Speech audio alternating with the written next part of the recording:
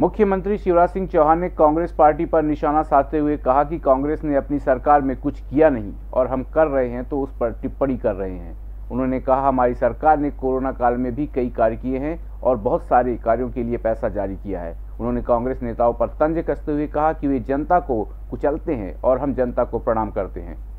मुख्यमंत्री शिवराज सिंह चौहान ने कहा कि मध्य प्रदेश उनका मंदिर है और उसमें रहने वाली जनता उनकी भगवान है और वे जनता के पुजारी हैं।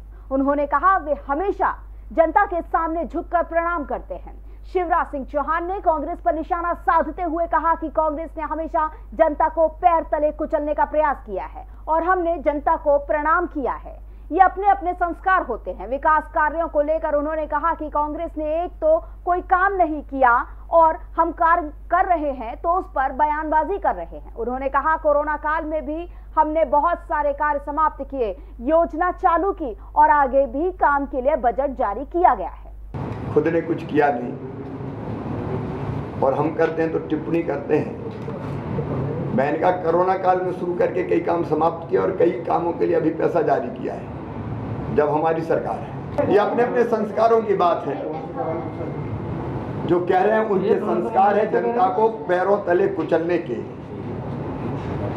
आपातकालीन मानसिकता के लोग हैं और हमारे संस्कार है जनता के चरणों में झुकने के मैं तो हमेशा कहता हूँ मध्य प्रदेश मेरा मंदिर है। उसमें रहने वाली जनता ही मेरी भगवान है। और उस जनता का पुजारी शिवराज सिंह चौहान है।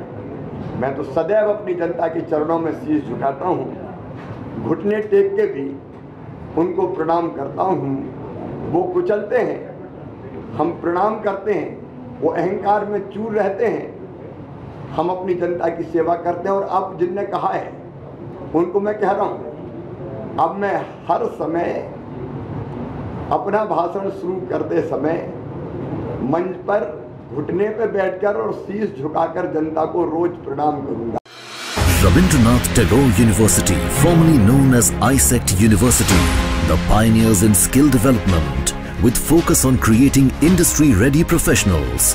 Join India's premier skill-based university, Rabindranath Tagore University. संगीत की स्वर लहरियों से सांस्कृतिक ताने बाने तक चंबल के भीड़ों से नक्सलवादियों के गढ़ तक झोपड़ी से महलों तक ठेलों से मेलों तक पगडंडियों से सड़कों तक गाँव से शहरों तक व्यापार से उद्योगों तक। राजनीति से कूटनीति तक। दखन न्यूज़। आपके हक